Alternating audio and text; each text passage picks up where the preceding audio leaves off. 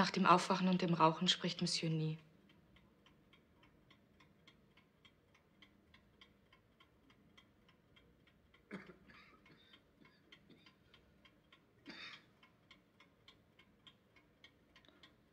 Seit einem halben Jahr ernährt sich Monsieur nur noch von zwei Tassen Milchkaffee pro Tag.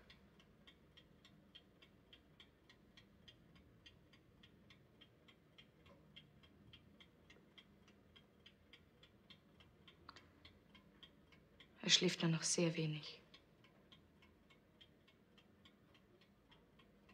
Wenn ich das Wort Ende geschrieben habe, fahren wir in den Süden.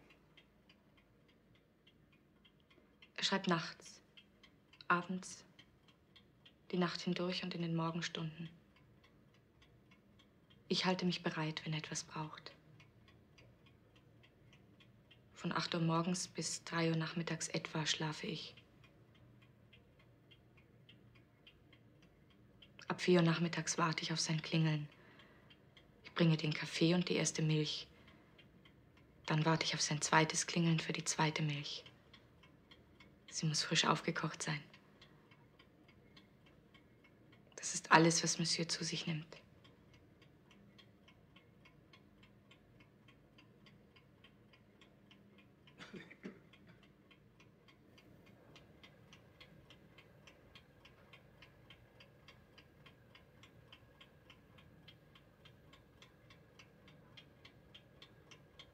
Mit dem Warten hat es damals angefangen.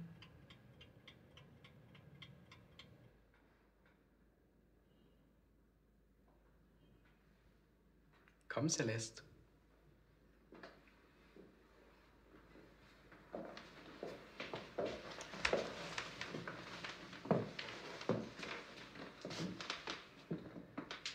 Weißt du, was das ist?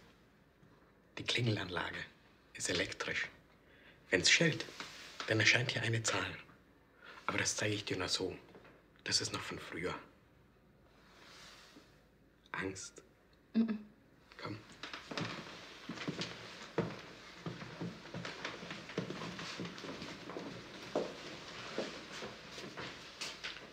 Das Wichtigste hat dem Nikola schon gebracht. Den ersten Milchkaffee und die zwei Hörnchen. Schau, wenn Monsieur nachher zweimal schellt, dann nimmst du das Hörnchen hier heraus und legst es auf den Unterteller da.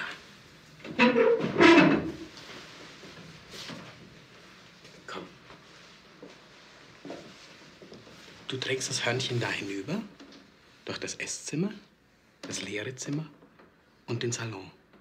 Die nächste Tür ist es dann.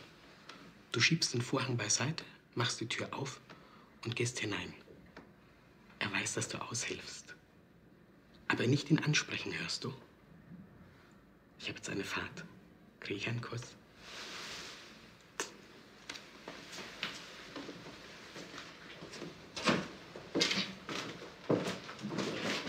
Und nicht in der Wohnung herumlaufen.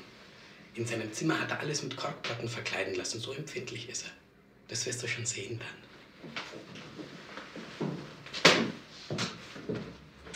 Und ihn nicht ansprechen, hörst du? Wenn er noch einmal schellt, dann will er noch etwas heiße Milch. Aber bis dahin wird Nikolas sicher zurück sein. Mach's gut. Ja, Odilo.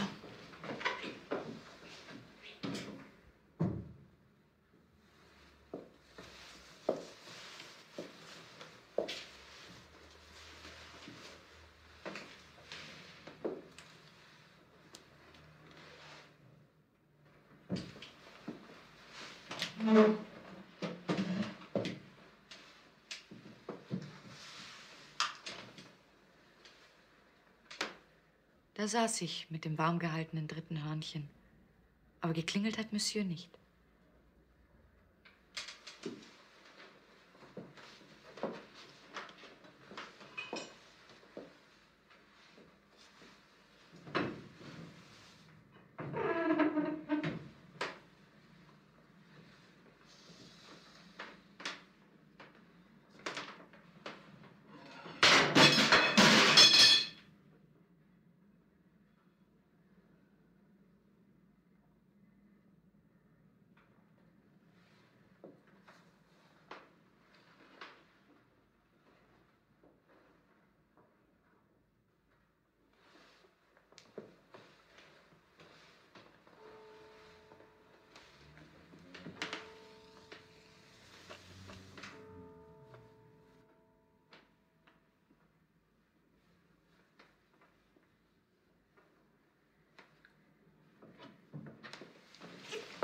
Celeste. Nein, nicht so, Dilon, gar nichts. Nicola wird bald zurück sein. Mach's gut.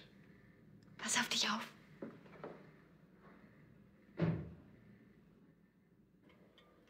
Er hat nicht geschellt. Dann haben sie mich wieder mal geholt zur Aushilfe und wieder hat er nicht geschellt. Aber komisch, ich habe mich nicht eine Minute gelangweilt. Dabei waren es viele Stunden. Es war mir unheimlich und wohl zugleich in der fremden großen Wohnung, wo irgendwo ein anderer Mensch geatmet hat. Und eines Tages schellt's.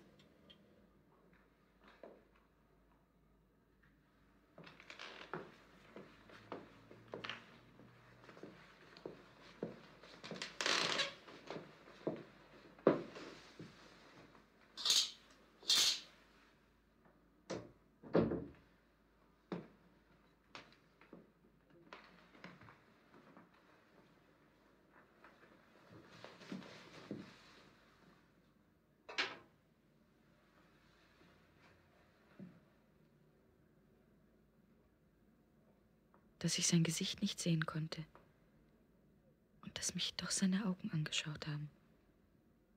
Das werde ich nie vergessen.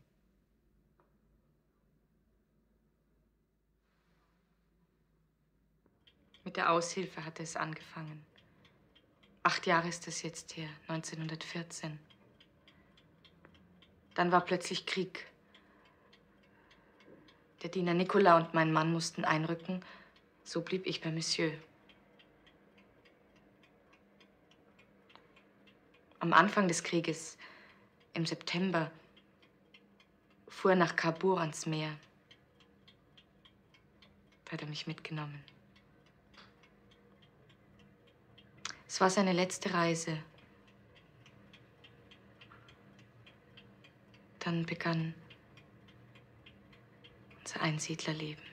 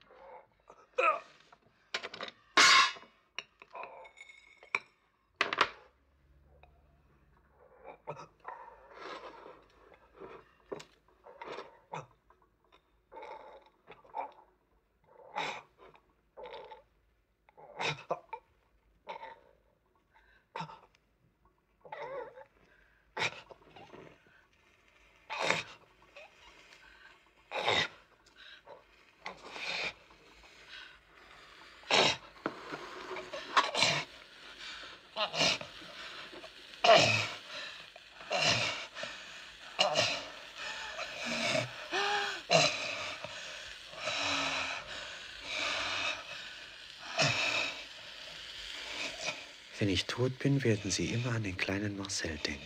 Denn einen Menschen wie ihn werden Sie nie wiederfinden.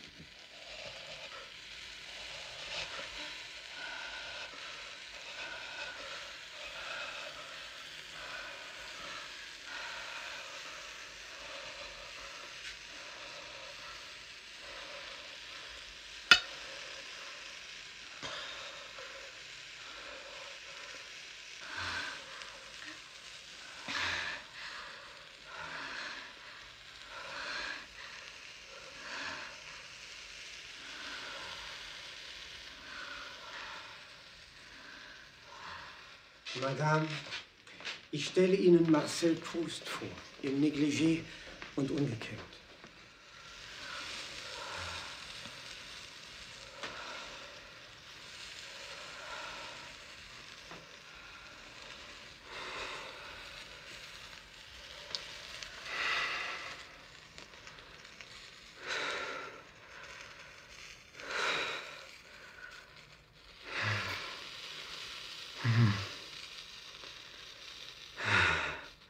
So, jetzt kommt sechs. Mhm.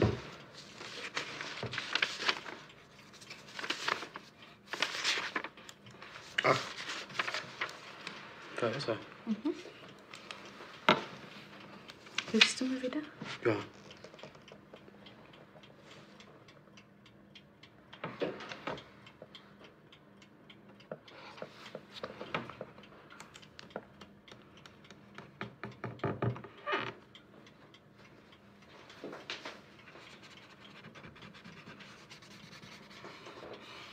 So.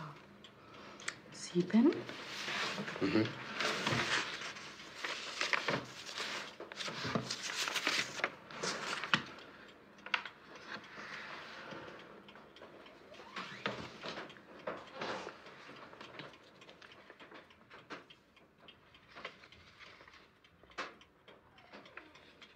Meine liebe Celeste, ich habe Sie gerufen, weil ich mir nicht mehr zu helfen weiß.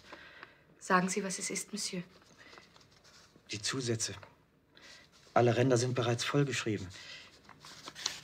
Ich könnte es weiterhin auf lose Blätter schreiben, aber es gerät mir dann immer alles durcheinander. Und erst, wenn es zum Setzer geht, So, jetzt probieren wir das mal.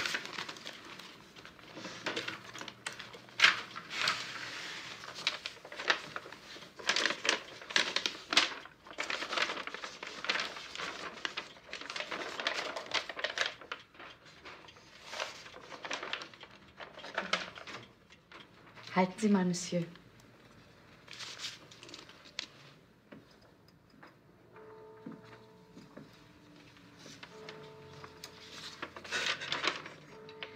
Jetzt können Sie so viel Seiten vollschreiben, wie Sie nur wollen, Monsieur.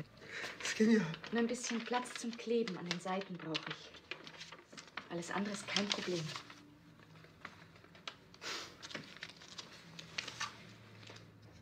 Oh, Monsieur. Da waren wohl die Motten drin. Ist es wichtig? Sehr. Ja, ja, das kenne ich. Die gehen immer an das beste Stück. Könnten Sie vielleicht eine Beule bringen, liebe Celeste? Ich friere ein wenig. Weil sie nicht schlafen. Man kann nicht immer arbeiten. Ich weiß. Aber es muss sein, die Zeit drängt. Sagen Sie, Celeste, ständig nachts mit einem Kranken zu leben. Ist das nicht sehr traurig für Sie? Wieso, Monsieur? Ich bin süchtig, das wissen Sie doch.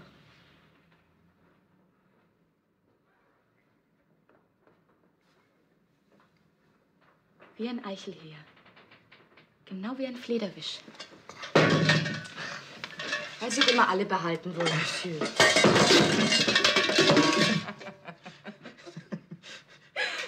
Bitte, Celeste, verzeihen Sie. Aber Monsieur. Bitte, liebe Celeste, nennen Sie mich doch ein einziges Mal Marcel. Aber warum denn nicht? Weil ich nicht anders kann, Monsieur. Madame, ich bin Ihnen unendlich dankbar, dass Sie sich dazu verstehen wollen, einen Kranken zu pflegen. Es ist nur eine Übergangslösung, bis ich einen neuen Kammerdiener gefunden habe. Denn es ist nicht schicklich, dass ein Mann, der so lebt wie ich, bettlägerig und krank, eine Frau bei sich hat. Besonders eine junge Frau. Madame, ich weiß, dass Sie nichts können und dass Sie nichts wissen. Sie werden nur meinen Kaffee machen. Sie können nicht einmal in der dritten Person sprechen.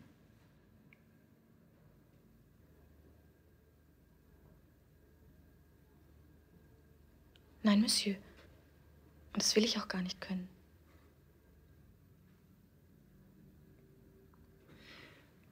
Und ich, Madame, werde das niemals von Ihnen verlangen.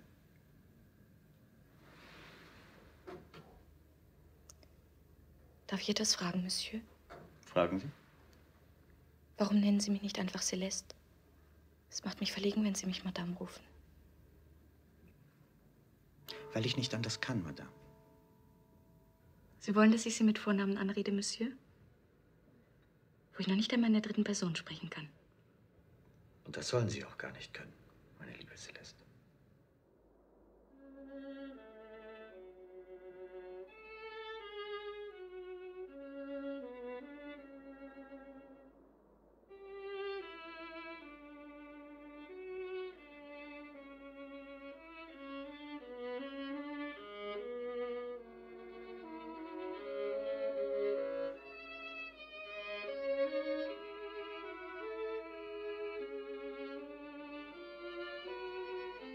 Seine letzte Reise ans Meer nach Cabourg 1914. Zu Anfang des Krieges. Da hat er dann doch auch einen Diener mitgenommen. Das war ein langer Schwede. Über den haben Monsieur und ich immer heimlich gelacht.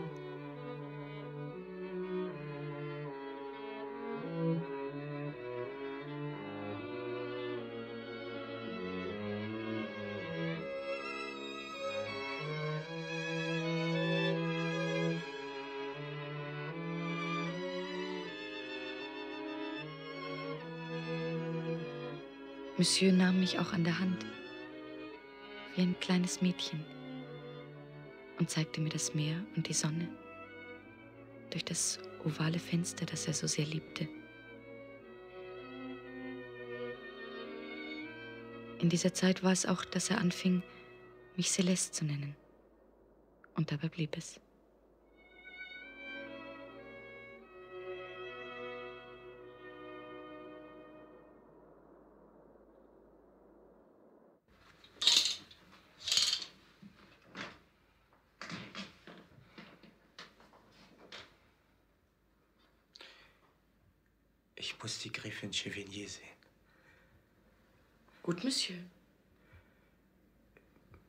Sie, dass ich vielleicht zu schwach bin, liebe Celeste? Sie wollen es, Monsieur, da wird es auch gehen. Ja, Celeste. Rufen Sie sie an, ob sie heute Abend frei ist. Gut, Monsieur.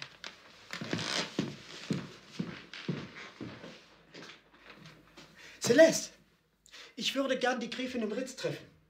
Bitte rufen Sie für den Fall, dass Madame de Chevigny zusagt, gleich Monsieur d'Abescar an und lassen Sie den kleinen fliederfarbenen Salon reservieren. Ja, Monsieur.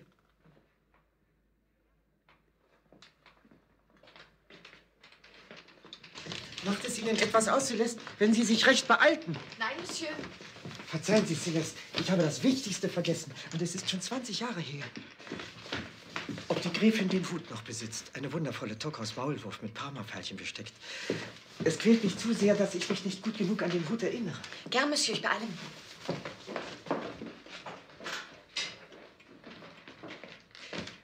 Und wenn Sie noch rasch bei Lemaitre vorbeiliefen, man soll der Gräfin Orchideen schicken. Es müssten aber sehr schöne sein. Ja, Monsieur, sehr schön. Sehr schöne. Bitte, Celeste, vielleicht könnte die Gräfin Monsieur Cocteau mitbringen. Er wohnt ja jetzt im selben Haus. Ja, Monsieur. Monsieur Cocteau mitbringen. Und bitte, Celeste, äh, dann rufen Sie Monsieur François an. Er möge gleich kommen. Ja, Monsieur. Und vergessen Sie dann bitte mein Fußbad nicht. Nein, Monsieur. Sind doch genügend Handtücher da. Ja, Monsieur.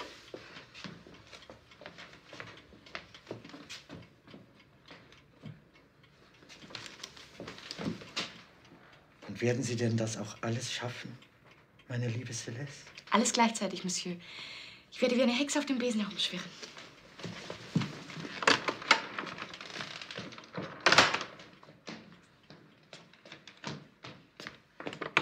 Celeste, Ja, Monsieur? das Menü soll Monsieur d'Abescar wie immer zusammenstellen. Ja, Monsieur.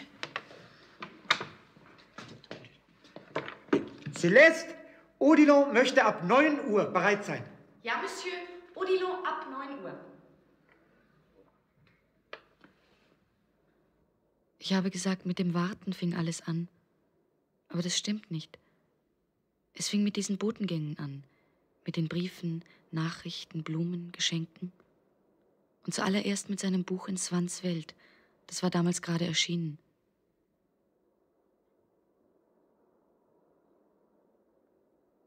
Monsieur hatte zu Odilon gesagt, Ihre junge Frau, Odilon. Was macht sie denn immer? Sie kommt doch vom Land. Wie geht es ihr in der Stadt? Schlecht, Monsieur, hat Odilon geantwortet.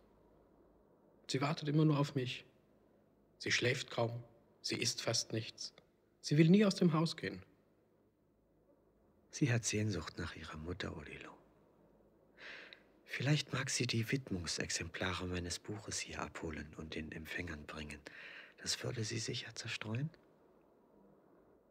So hat es mir Odilon berichtet. Und ich habe geantwortet, gut, ich gehe hin. Mein Gott, wie viele Briefe habe ich schon ausgetragen seitdem? Tausend? Das genügt nicht. Und immer sind diese Briefe ein Teil der ausgeklügelten Jagd, um an die Vorbilder für seine Romanfiguren heranzukommen. Um jemanden kennenzulernen, geht er oft komplizierte Umwege. Es muss immer wie ein Zufall aussehen, und dann schnappt er zu. Denn Monsieur ist nicht auf der Suche nach irgendeinem Gefühl. Monsieur ist auf der Suche nach der Wahrheit. Er ist der Jäger und ich sein Jagdhund. Ich stöbere ihm sein Wild auf und er peng. Mein Gott, wie viele Vorbilder er braucht für eine einzige Romanfigur. Aber plötzlich taucht eine Adresse, die immer und immer wieder auf einem Brief stand, nicht mehr auf. Dann weiß ich, die Seiten sind abgeschlossen, das Modell hat ausgedient.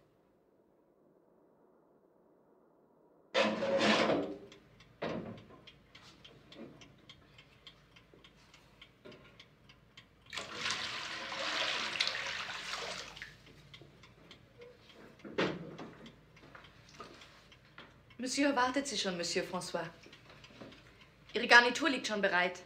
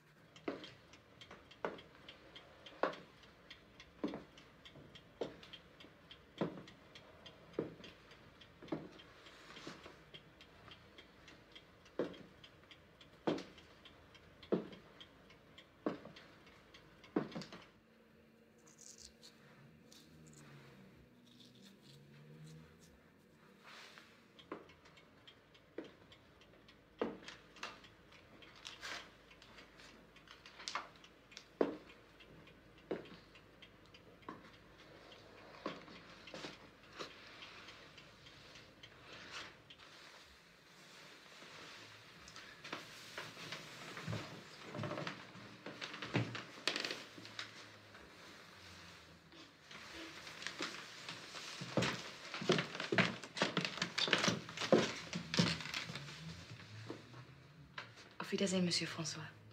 Wiedersehen, Madame Celeste.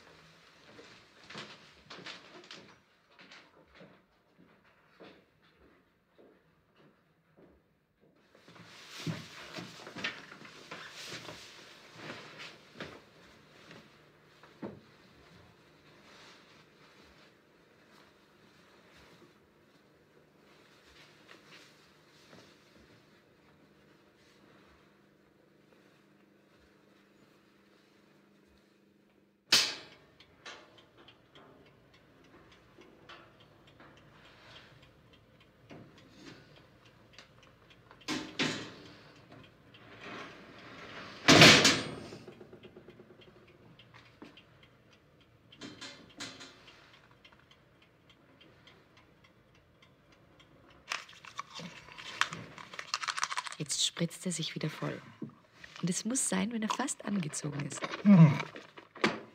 Sogar die Schleife hatte schon gebunden. Heute will er wieder einen Rekord brechen. Einen ganzen Flakon Zahnpulver verbraucht. Das ist wirklich eine Pracht.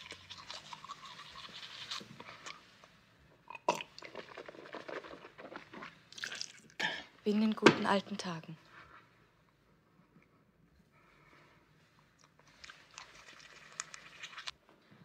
Ach, Monsieur, all die Handtücher so gut wie sauber. Welch eine Verschwendung. Meine liebe Celeste, Sie wissen, dass meine Haut aufspringt, wenn ich ein feuchtes Tuch ein zweites Mal benutze. Ein Glück, dass Sie reiche Eltern hatten. Wenn Sie arm geboren wären, mein Gott, wie wären Sie durchs Leben gekommen? Sie sind ja gesprenkelt. Alles voll Zahnpulver. Dabei hatte ich mir ein Handtuch umgelegt. Stillhalten, Monsieur. Aber bitte nicht, Celeste, die Leute nehmen mich auch gesprenkelt.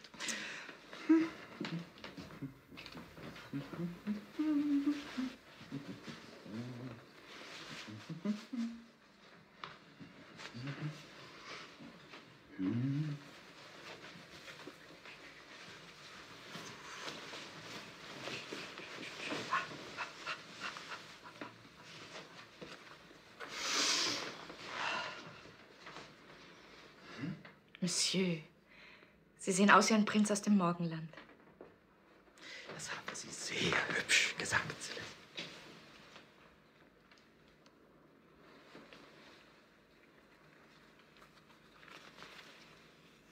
Diese Handschuhe sind gereinigt worden. Ich glaube nicht, Monsieur. Ich. Ich rieche nichts. Aber ich, Sie riechen nach Benzin. Sie wissen, dass ich Initiativen dieser Art nicht schätze, Celeste. Ja, Monsieur. Warum tun Sie es dann?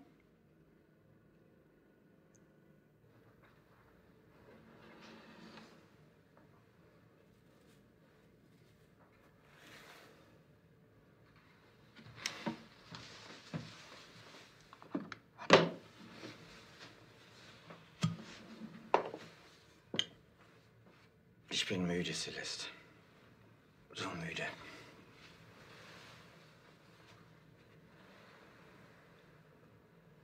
Diese große Anstrengung.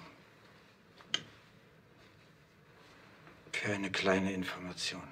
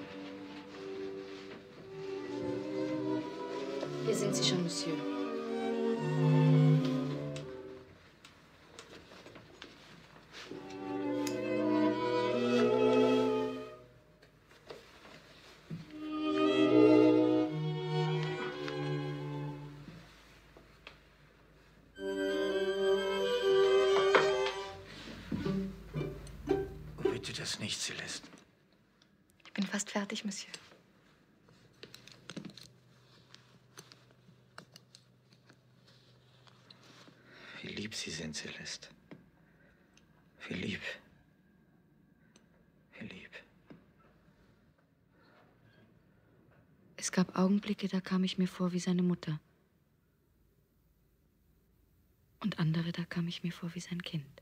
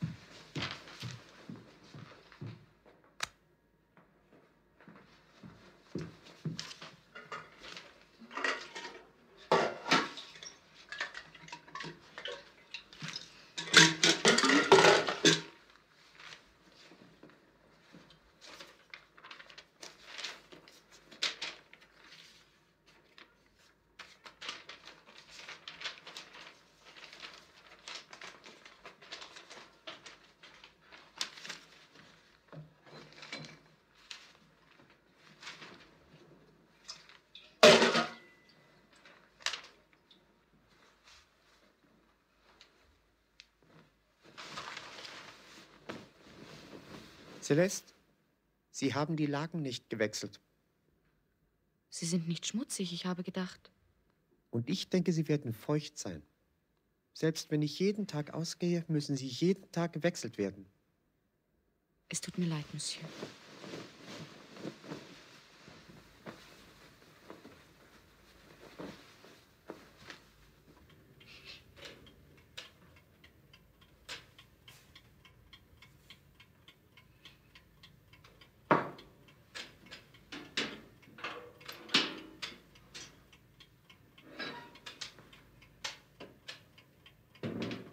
Ich das Wort Ende geschrieben habe, liebe Celeste, fahren wir zusammen in den Süden. Aber warum nicht lieber nach Cambrai, Monsieur? Und alles mit eigenen Augen wiedersehen, was Sie aus Ihrer Kindheit beschreiben. Weil man die verlorenen Paradiese nur in sich selbst wiederfindet.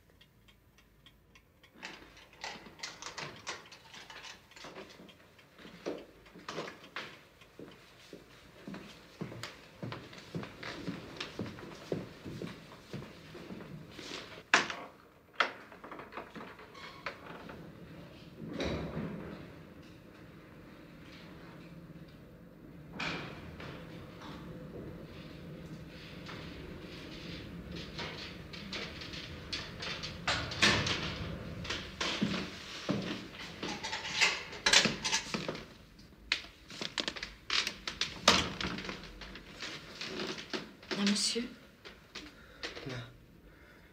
Liebe Celeste. Immer noch, Monsieur? Das altgediente Ross darf Sie immer noch nicht stützen.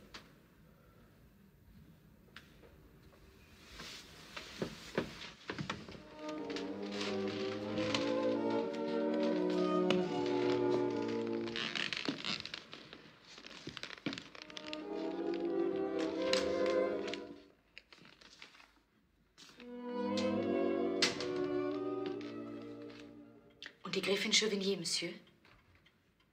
Ach, Celeste. Welch unvergleichliche Frau war sie damals. Als ich ihr immer auflauerte, wenn sie in den Bois de Boulogne fuhr. Welch eine Schönheit. Ich war in Ekstase. Und heute Abend eine alte Frau mit einer rauen Stimme, und einer Adlernase. Und der Hut. Mit dem Maulwurf, Monsieur. Sie hat mir nicht geantwortet, als ich Sie am Telefon danach fragte. Sie sagte nur, oh Marcel, nach so langer Zeit. Nach so langer Zeit.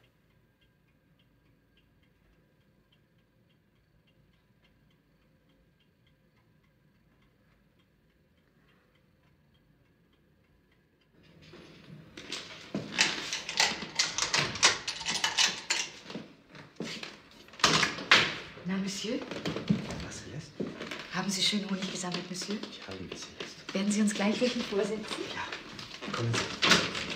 Kommen Sie. Ich habe ich alles behalten.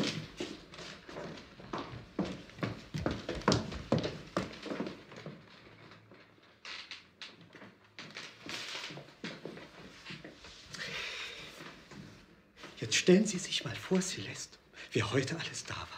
Ich bin gespannt, Monsieur. Hier die Gräfin Myra. Sie sieht mit ihren Halbstiefeln immer so aus, als wolle sie sich in einem Kosakentanz auf einen stürzen. Vorsicht, Monsieur. Dort Boni de Castellan. Aber das ist eine ganze Geschichte für sich. Ja, das kann ich mir denken. Hier der junge Jean Cocteau. Der springt, als er mich sieht, auf den Tisch. Auf den Tisch. Celeste. Auf das Tischtuch, Monsieur. Und schreit, da ist Marcel, da ist Marcel. So ist das peinlich. Ich habe es immer gewusst, Monsieur. Dieser Cocteau ist ein Hans Wurscht. Er lügt das Blaue vom Himmel herunter, um sich interessant zu machen. Doch ist das ja witzig. Er wollte sich neben mich setzen. Aber da saß schon.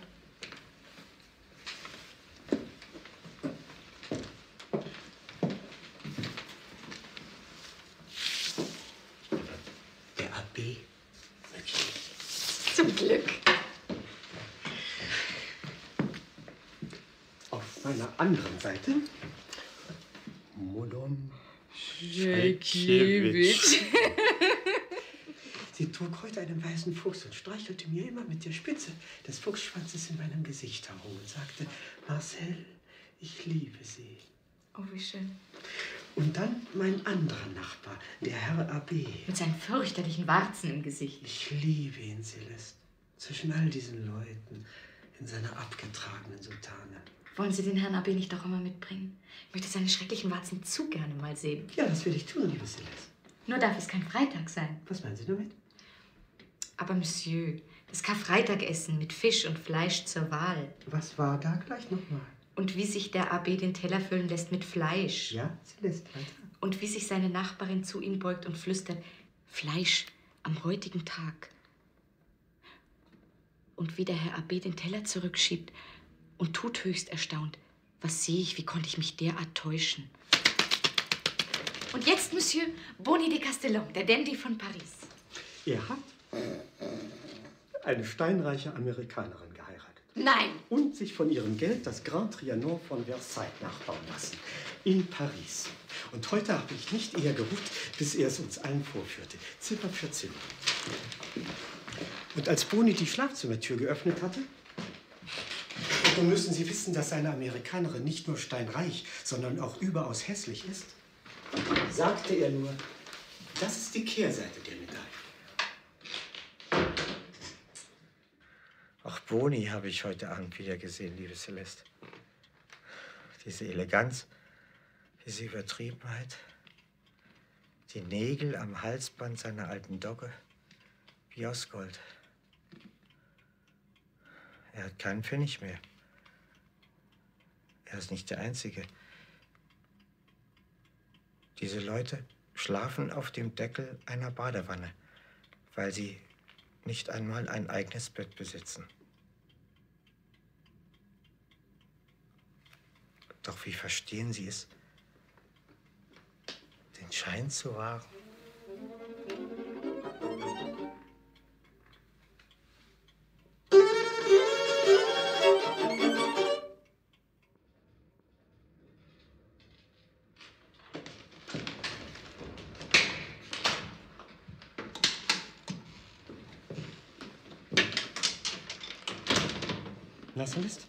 Monsieur? folgen Sie mir.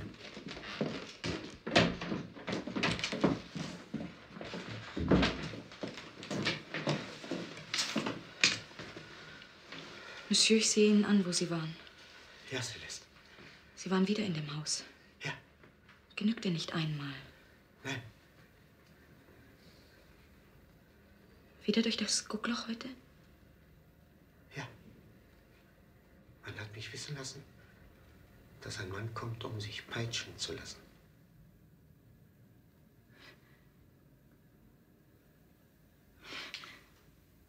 Monsieur, das gibt es doch nicht. Doch, Celeste. Ich habe die ganze Szene durchs Fensterchen mit angesehen. Es roch schlecht. Ich stand unbequem.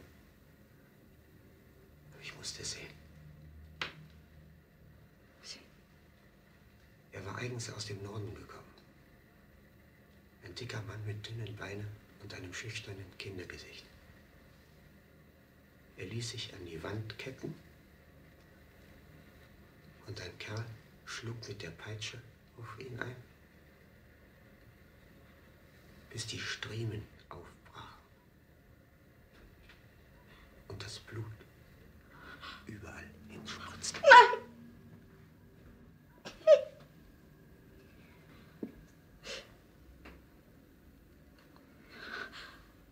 dann sah ich den Unglücklichen seine ganze Lust verspüren. Monsieur. Haben Sie so etwas mit ansehen können? Ich würde noch viel schrecklichere Dinge mit ansehen. Warum denn, Monsieur?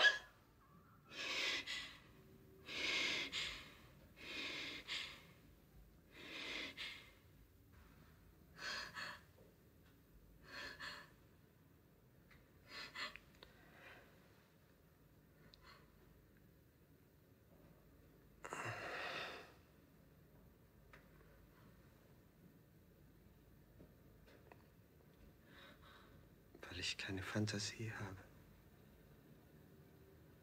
Ich muss mir alles mühsam zusammensuchen.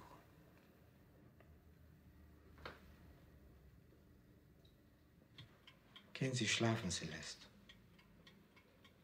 Wie spät ist es? Es ist längst hell, Monsieur. Gut.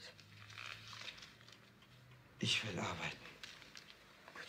Gehen Sie doch auch schlafen, Monsieur. Nein. Die Zeit drängt. Gute Nacht. Gute Nacht, Monsieur.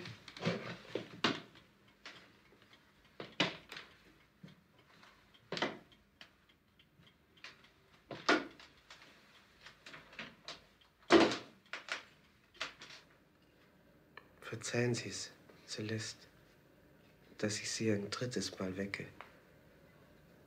Das macht doch nichts, Monsieur. Ich komme immer gern.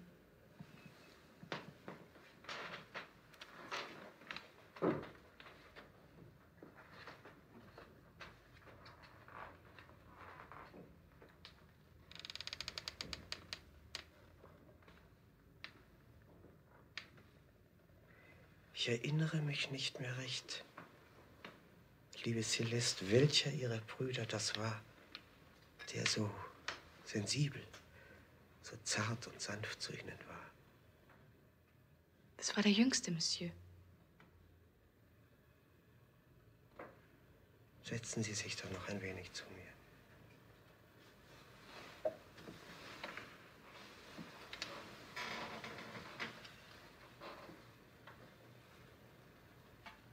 Ich habe Sehnsucht nach Mama.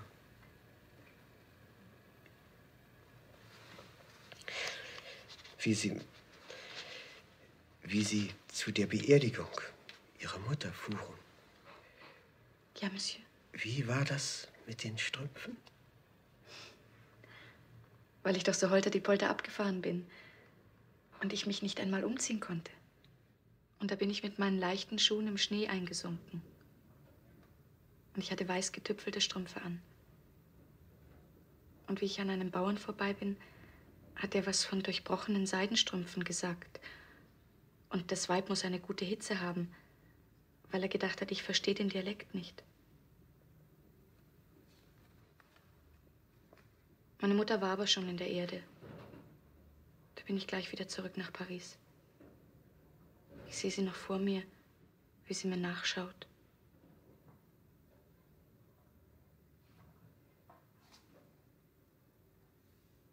Mein Bruder hat mich mit dem Pferdewagen zum Bahnhof gebracht. Die Mutter steht am Tor. Immer kleiner wird sie. Und wie lieb sie immer wieder die Hand hebt und winkt. So ungeschickt, so steif.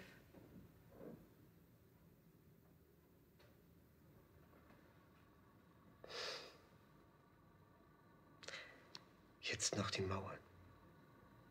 Erzählen Sie noch von den Mauern, Celeste. Da gibt es nicht viel zu erzählen, Monsieur.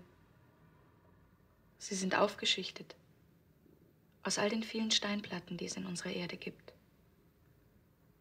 Was woanders die Zäune sind, das sind bei uns die Mauern.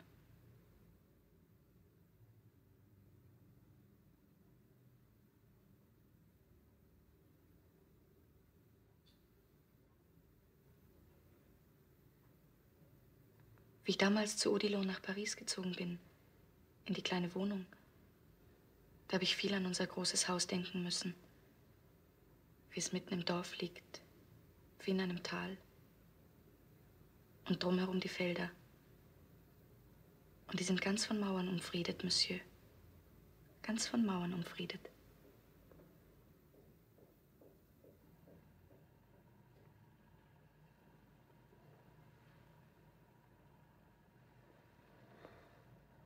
Erzählen Sie mir noch eine Geschichte. Die vom Hut. Als meine Mutter ihr siebtes Kind erwartete, brannte unser ganzes Anwesen nieder. Ich hatte an dem Tag mein weißes Kleid für die Firmung heimlich aus dem Schrank geholt und angezogen und bin gleich an der Haustür hängen geblieben und hinein in den Dreck. Mein jüngster Bruder stellte sich schützend vor mich hin, Schimpft die Celeste nicht, drohte er meiner Mutter, sonst muss ich weinen. Da schreit jemand Feuer, Feuer, Feuer. Die Scheune, sie war voll Stroh. Meine Mutter ist mit einem Kübel Wasser außen hinaufgestiegen. Sie fällt, steht wieder auf, steigt mit einem zweiten Kübel hinauf. Da fängt ihr Rock Feuer. Und der Rauch, der Sturm, die Flammen, das Schreien und das Vieh. Wir brachten es gerade noch heraus. Das Kind kam acht Tage später zur Welt.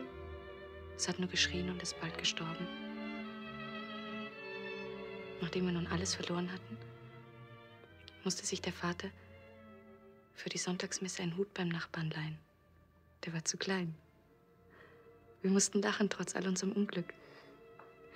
Immer wieder vergaßen wir den Hut, schauten den Vater an und dann ging das Lachen wieder los. Wie hübsch Sie heute sind, Celeste.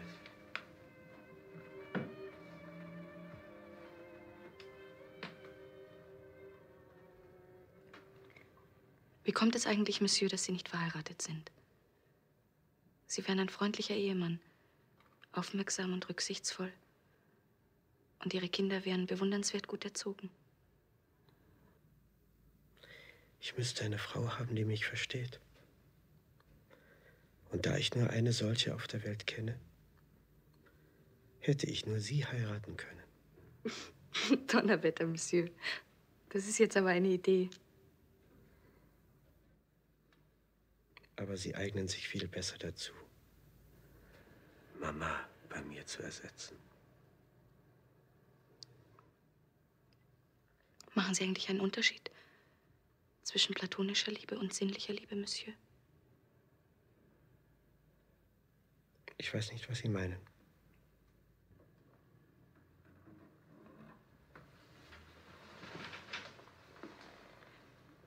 Ich muss noch das Rauchen für morgen vorbereiten.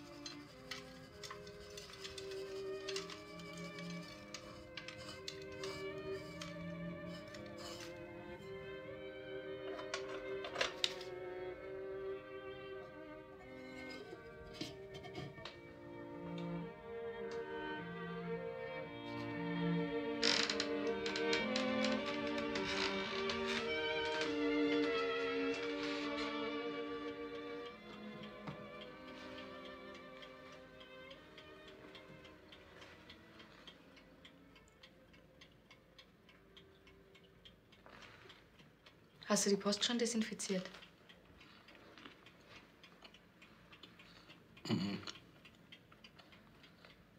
Noch nicht. Ich mach's gleich.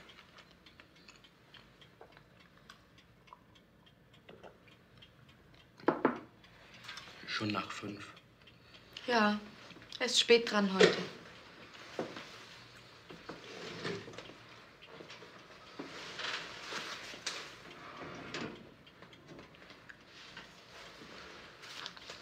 Seit. Ja, seit 13 Tagen will er immer nur seinen Kaffee und die Bollen. Er spricht nicht. Ich glaube, er arbeitet Tag und Nacht. Ich höre nur noch sein Husten.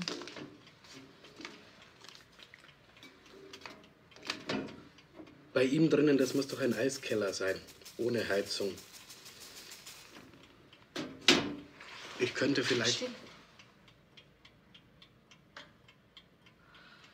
Es ist nichts. Ich habe gemeint, er fängt sein Rauchen an.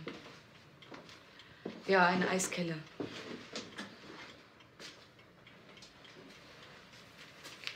Soll ich mir den Kamin noch mal anschauen? Nein. Der zieht nach innen. Er macht Gase, sagt Monsieur.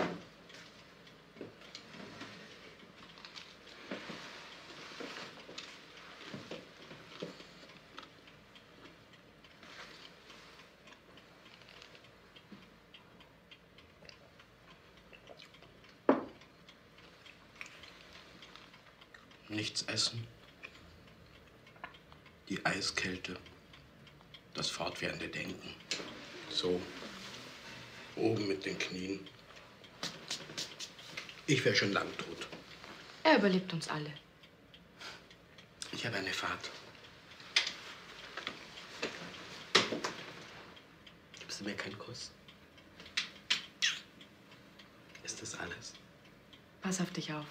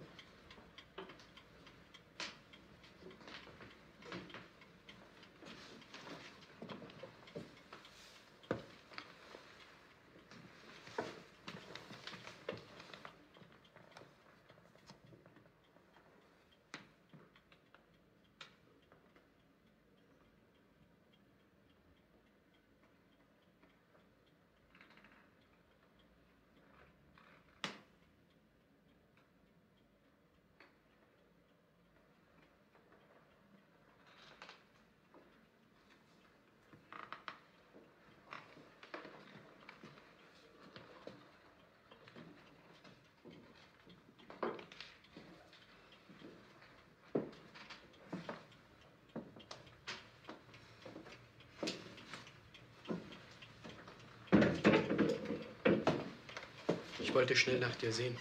Ich habe so ein dummes Gefühl gehabt. Er hat noch nicht geschellt. Noch nicht? Weißt du, wie spät es ist? Fast zwölf. Willst du nicht lieber nachschauen? Nur wenn er schellt. Ich habe eine Fahrt. Ich weiß nicht, wie lange ich ausbleibe. Ja, ja. Pass auf dich auf.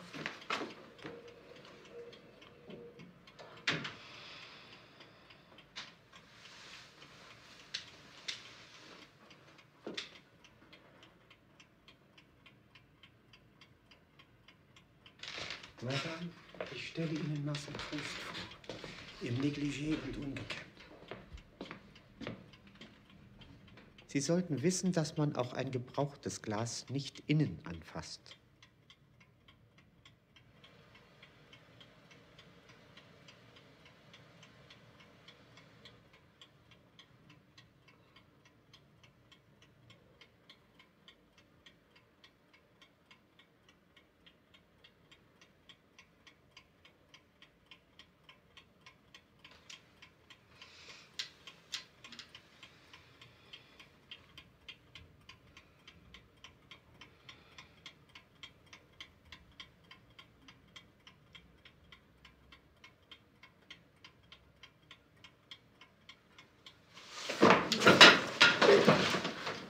was? Ruhig was?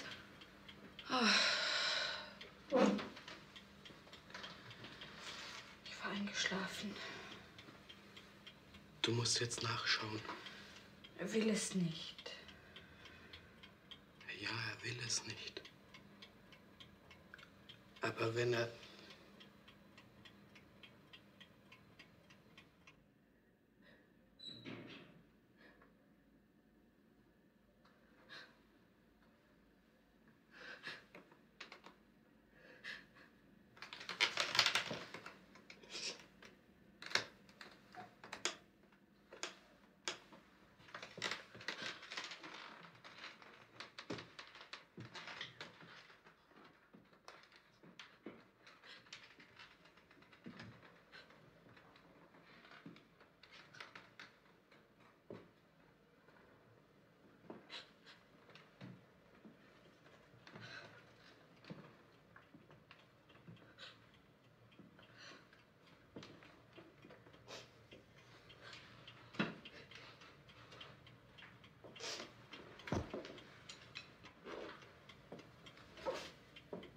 Ist er tot?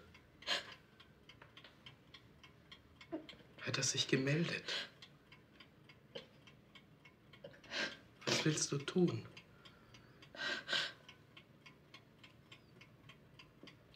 Warten. Und wenn er. Er lebt.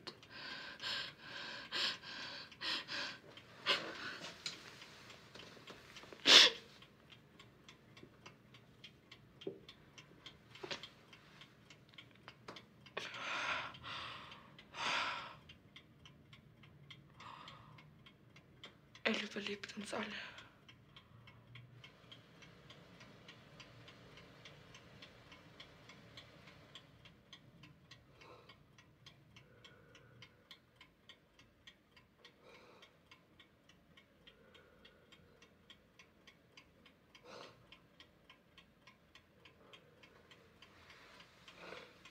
Odilo.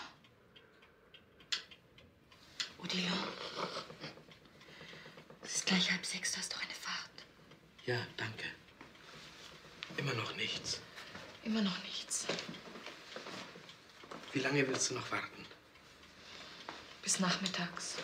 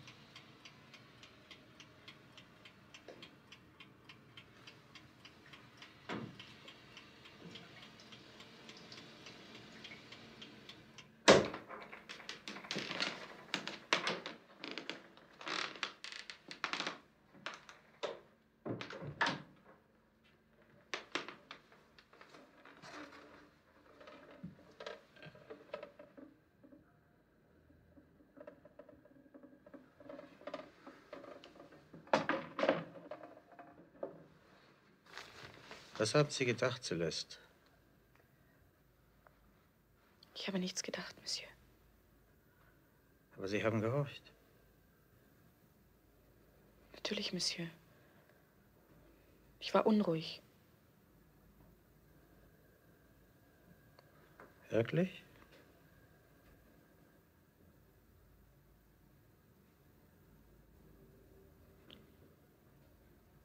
Monsieur, ich habe mir solche Sorgen gemacht. Es war nicht besonders nett. Auch ich habe geglaubt,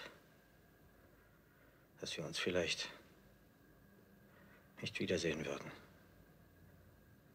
Liebe Celeste.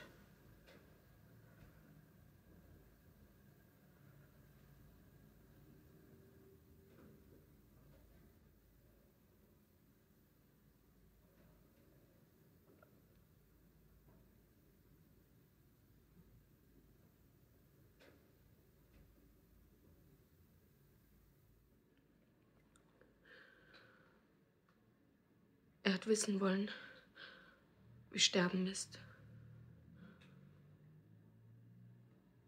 Er hat wissen wollen, wie das Sterben ist. Er hat es gebraucht für sein Buch. Wenn ich mir vor Augen führe, dass das erst der zweite Teil des Werkes ist und dass ich noch tausende von Seiten zu betreuen habe. Bleibt die bloß. Dann sehe ich das wie einen Albtraum auf mich zukommen. Wie eine, wie eine Lawine, die mich zu ersticken droht. Obwohl ich natürlich inzwischen eingesehen habe, dass es sich um ein Werk epochalen Ausmaßes handelt. Wo bleibt die bloß? Monsieur kann sie jetzt nicht empfangen, es sei noch zu früh. Fünf Uhr nachmittags? Um zehn vielleicht. Zehn? Oder morgen. Monsieur ist noch unentschlossen. Dann sagen Sie Monsieur Ihrem, Proust kann uns in dieser unikumalen dass er Situation... nicht zu kapieren scheint, was es bedeutet, den ersten Goncourt-Preis nach dem Kriege zu bekommen. Auch für seinen Verleger. Dem muss ich wirklich beipflichten, Madame Celeste. Heute Abend geht der Zug zu meinem Drucker in Abbeville, um die Neuauflage in Gang zu bringen. Ich brauche von Proust einige Angaben. Ich flehe Sie an, Madame. Ich werde Monsieur alles sagen. Dabei kann Proust sich wirklich glücklich preisen, dass die Jury zwar knapp, aber immerhin für ihn gestimmt hat. Ich halte das Ganze zwar für einen Kuhhandel, aber schließlich zu unseren Gunsten. Wenn ich denke, dass wir das Ganze damals abgelehnt hatten, dass Gide das Paket, wo es drin war, noch nicht mal aufgeschnürt hat, sagte nur, ich lektoriere keine Dandy-Literatur. Dandy Literatur. Das mag ein Teil der Goncourt-Jury wohl auch noch mit in die Waagschale geworfen haben. Wo das Konkurrenzwerk immerhin an Wo Firma bleibt die bloß? Nach diesem Krieg mehr ist als äh, junge Mädchen am Strand. Ja, das ist eine Sauarbeit, bis wir das Buch wieder bei uns hatten. Wo Proust dem anderen sogar den ganzen Druck bezahlt hat. Man muss es sich leisten. Privat hat drucken lassen. Und wie wir beim zweiten Band den Braten noch gerade gerochen haben. Wir hatten die Augen offen. Und dafür jetzt den Goncourt. Den ersten nach dem Krieg. Wo bleibt die bloß? Monsieur, bitte. Für eine Minute. Madame Celeste, So, meine liebe Celeste, der Zirkus beginnt. Nun wollen Sie es rasch vergessen, dass Sie das Buch des kleinen Dandy nicht einmal geprüft haben. So ändern sich die Zeiten. Und nachdem wir diese Herren wieder an die Arbeit geschickt haben, bleibt mir noch Folgendes zu sagen. Wahrscheinlich wird an unsere Tür jetzt sehr viel geläutet werden. Ich will niemanden empfangen. Vor allem keine Journalisten, keine Fotografen. Werfen Sie sie alle hinaus. Ja, Monsieur. Wenn man sie ausfragen will, kein Wort. Kein Sterbenswörtchen.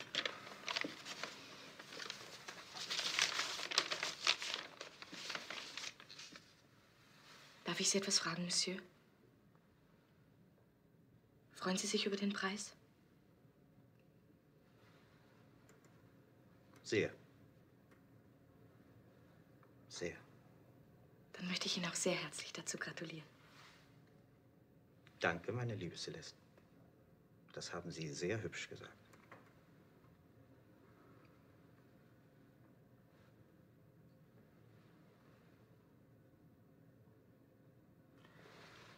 Ich habe heute noch nicht geraucht. Wollen Sie mir helfen, liebe Celeste?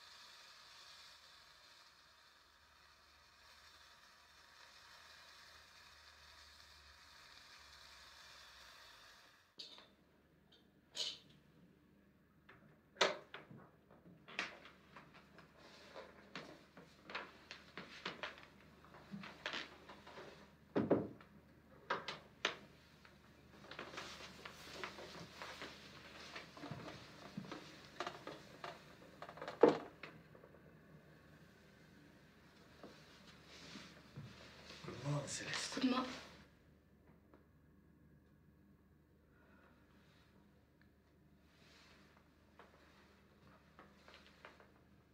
Entschuldigen Sie, Monsieur. Nach neun Jahren zum ersten Mal sprechen Sie vor dem Café.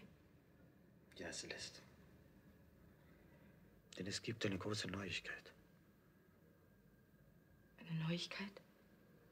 Heute Nacht. Ja? Heute Nacht habe ich das Wort Ende geschrieben.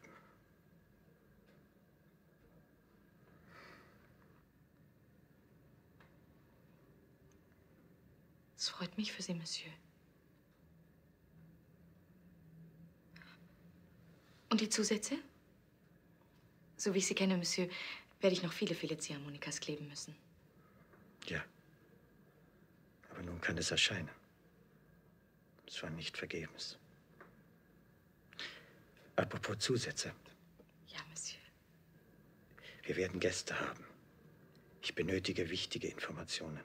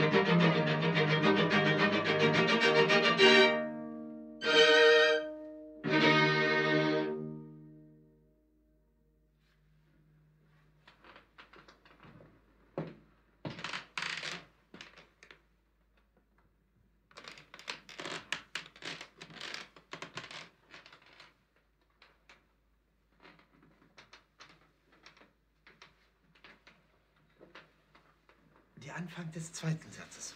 Würde es Ihnen etwas ausmachen? Nur die geisterhafte Stelle vielleicht.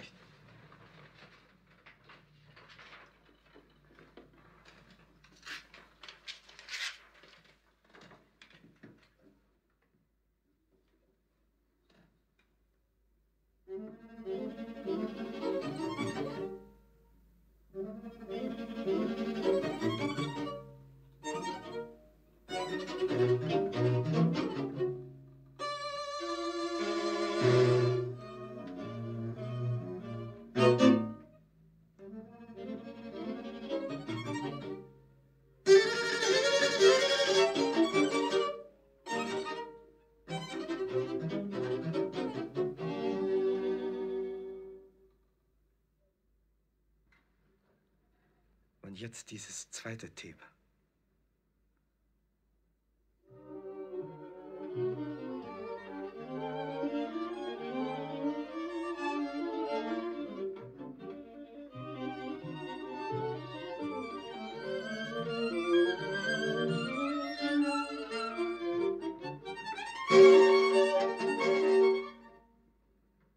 Da war doch noch diese andere Stelle.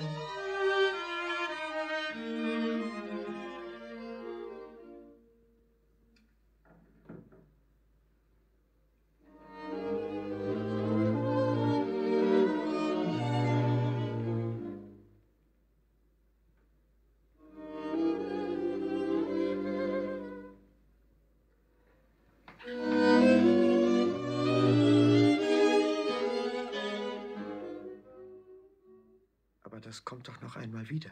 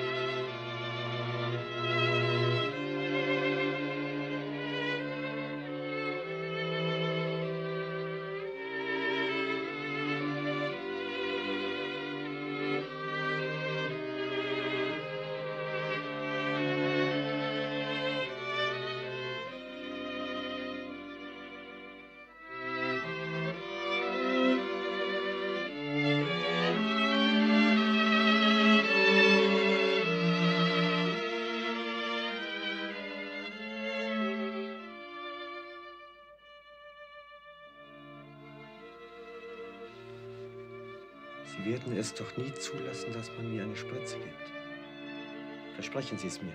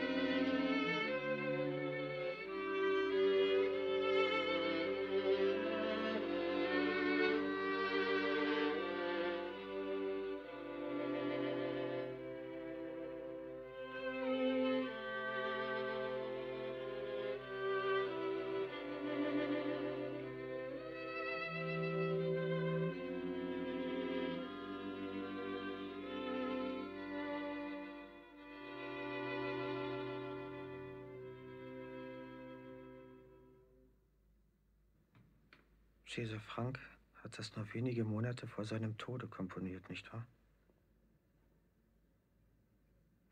Welch schöne Gedanken vor dem Sterben.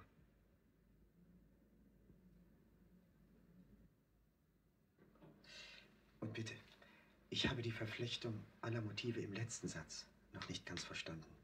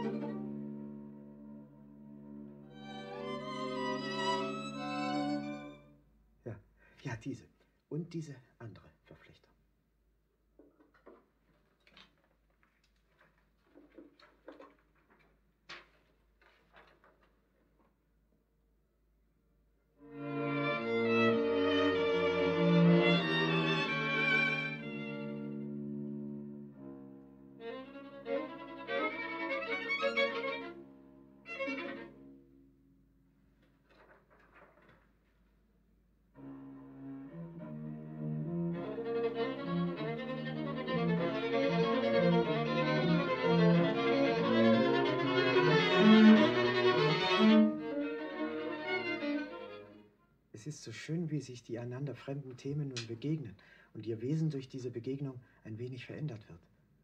Das ist sehr aufschlussreich, sehr schön. Nicht wahr, meine liebe Celeste? Ich bin Ihnen sehr dankbar.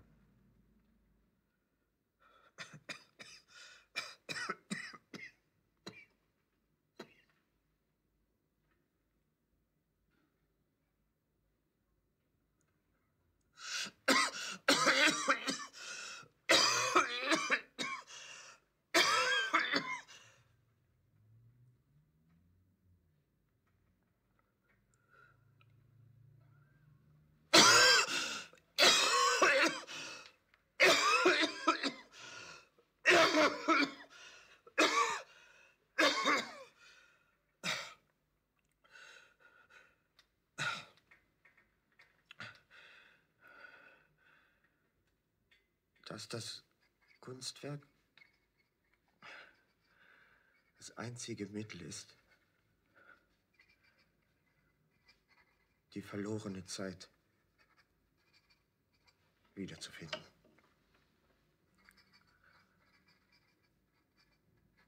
Wie ein Samenkorn würde ich sterben, sobald die Pflanze entwickelt wäre.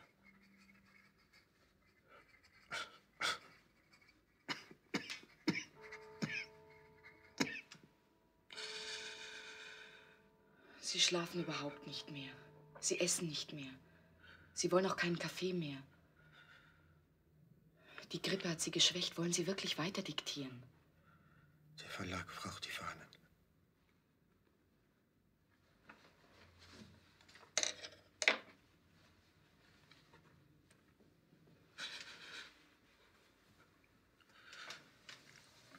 Werden Sie jedes Mal frisch gewaschen?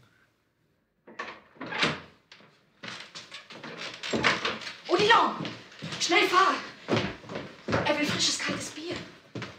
Celeste, ich will kaltes Kompott. Wie schnell können Sie es besorgen?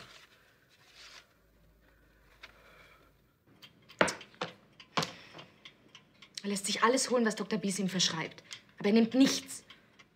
Meister, ich versichere Ihnen, dass diese Grippe nicht schlimm ist. Ich habe die Kampferölspritzen empfohlen. Wenn Sie einverstanden sind, sich behandeln zu lassen, wie ich es vorschlage, dann ist das eine Sache von acht Tagen. Lieber Doktor, ich, ich muss und will diese Fahnen korrigieren. Der Verlag wartet darauf. Ihr Herr Bruder lehnt es ab, sich behandeln zu lassen.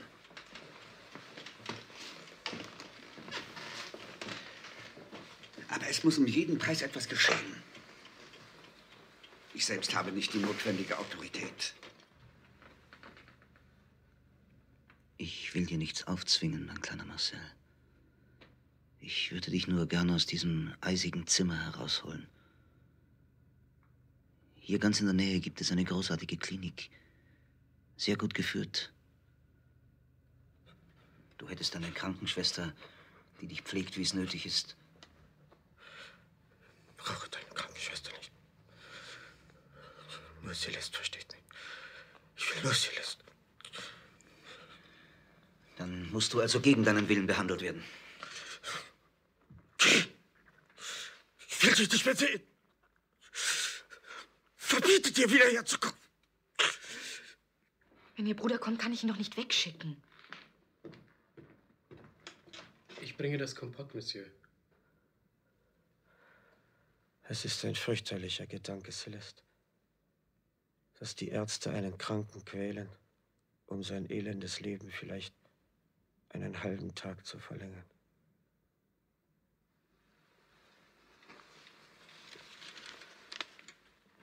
Keine Spritze. Versprechen Sie es, Celeste. Ich verspreche es, Monsieur. Du hast seit fünf Wochen nicht mehr richtig geschlafen. Ich weiß nicht, ich zähle nicht. Odilo! Odilo! Kaltes Bier! Schnell! Oder ich werde entsetzlich ärgerlich! Er hat sich eine Scholle gewünscht. Äh, warten Sie damit, Celeste. Ich will ihn erst sehen.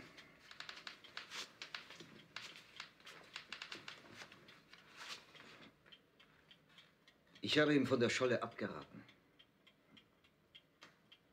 Sein Herz ist sehr matt. Wenn Sie mich brauchen, rufen Sie mich Celeste.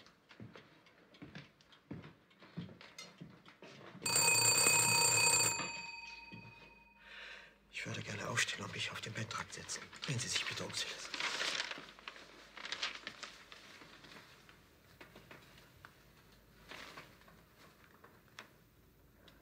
Schicken Sie dem guten Dr. Bies einen Blumenstrauß.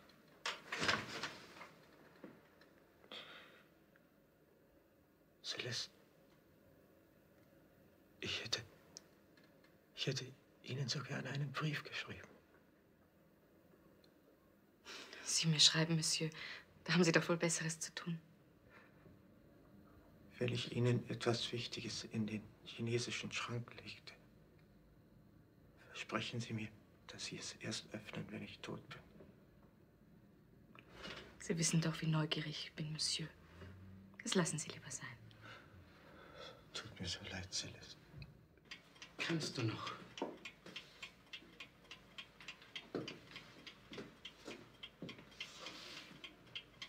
Ja, ja.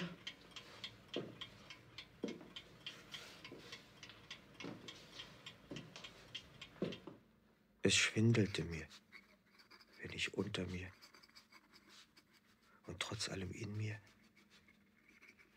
als sei ich viele Meilen hoch, so viele Jahre erblickte.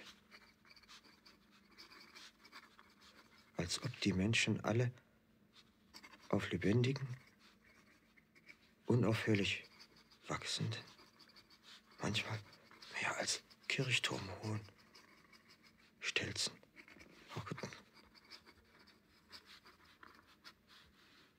Als ob die Menschen alle auf lebendigen, unaufhörlich wachsenden, manchmal mehr als kirchturmhohen Stelzen hockten. die das Gehen schließlich für sie beschwerlich und gefahrvoll machten, bis sie plötzlich von ihnen herunterfiel. Ich erschrak, dass die meinen bereits so lang waren unter meinen Schritten. Es kam mir nicht so vor, als wenn ich stark genug wäre, noch lange die Vergangenheit bei mir festzuhalten. Ob mir noch Kraft genug bliebe, um mein Werk zu vollenden.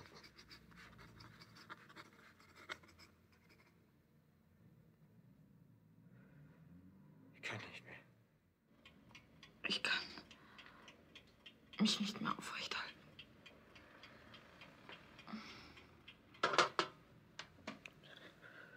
Um Ihnen eine Freude zu machen, liebe Celeste.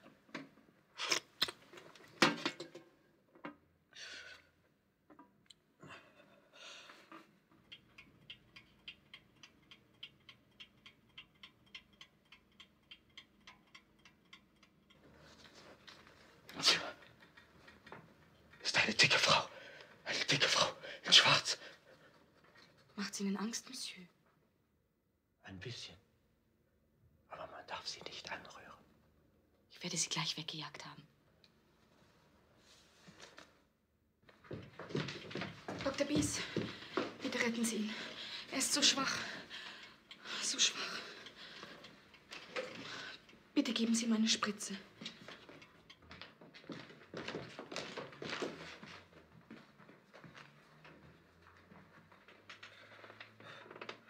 Guten Tag, mein lieber Othello. Ich freue mich, Sie zu sehen. Wohin? In den Oberschenkel. Ich werde die Decke anheben, Herr Doktor.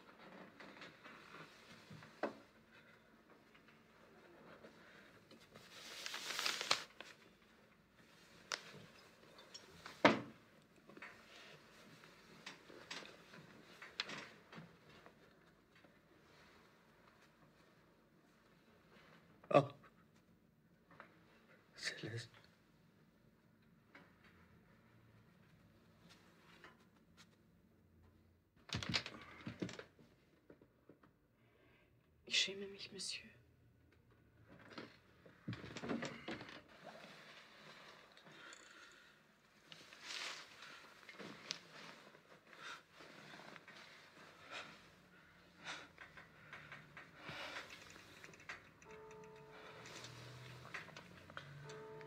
Ich plage dich, mein lieber kleiner Marcel. Ja, mein lieber Robert.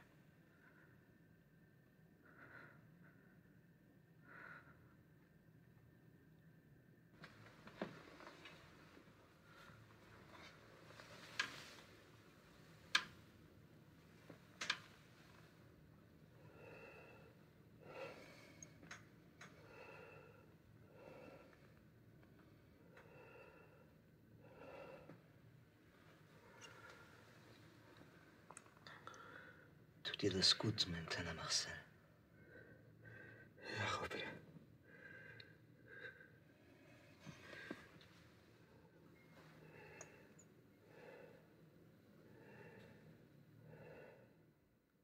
Madame, ich weiß, was Sie alles für ihn getan haben.